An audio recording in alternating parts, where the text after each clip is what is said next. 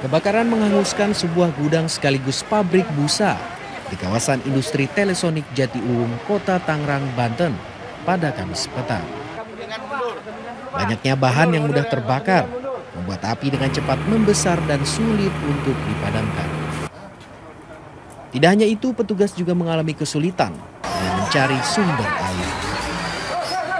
Dan sementara, kebakaran diakibatkan hubungan pendek arus listrik dari salah satu bagian gudang penyimpanan busa. Penyebab sampai saat ini belum diketahui karena memang uh, kejadian ini juga uh, begitu cepat. Uh, ini form uh, busah ya. Uh, jadi kita juga sudah mengerahkan 8 unit dari Kota Tangerang, tiga unit dari pihak kabupaten. Api pun akhirnya bisa dipadamkan jam kemudian dengan dibantu 8 unit mobil pemadam kebakaran.